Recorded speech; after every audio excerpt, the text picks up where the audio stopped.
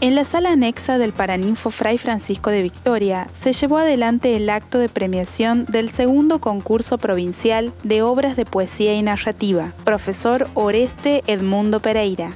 Autoridades y miembros de la comunidad universitaria se dieron cita en este encuentro organizado por la Secretaría de Extensión Universitaria con el objetivo de reconocer la labor literaria de los autores y las autoras participantes de esta competencia.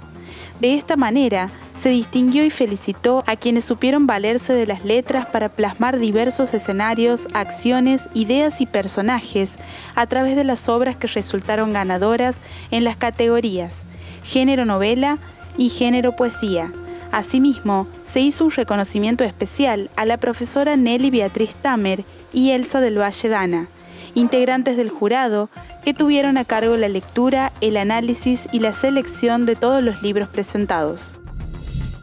A través de dos actos de colación, autoridades universitarias tomaron juramento a flamantes egresados y egresadas de la Facultad de Humanidades, Ciencias Sociales y de la Salud. En presencia de docentes, no docentes, amigos y familiares, se hizo entrega de los correspondientes títulos en las carreras de Tecnicatura en Administración y Gestión Universitaria, Contador Público Nacional, Licenciatura y Profesorado en Educación para la Salud,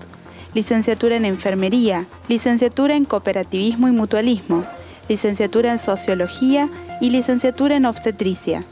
Ambas ceremonias tuvieron lugar en el Salón de Usos Múltiples de la mencionada unidad académica, en donde se vivieron momentos cargados de emotividad y entusiasmo por esta nueva etapa profesional. En la sede central de la UNCE se presentó el libro Medallas de Santiago del Estero II, un texto que aborda la numismática desde la investigación. Su autor, el ingeniero Ricardo Barone, docente de la Facultad de Exactas de nuestra universidad, explica la importancia de conocer y valorar nuestra historia a través de este ensayo de catalogación de medallas. Son cuatro los investigadores de la UNCE que forman parte del Índex Científico Internacional AD. En esta emisión, el doctor Eduardo Morán Vieira nos comenta al respecto. Yo estimo que eh, la relevancia de mis investigaciones en este campo eh, ha sido buena, eh, modesta parte, ha sido buena en estos últimos años debido a la performance que hemos tenido con investigaciones en el área y publicaciones eh, relevantes en revistas científicas internacionales. Y, pero también veo que en el índice se ha citado uno de los trabajos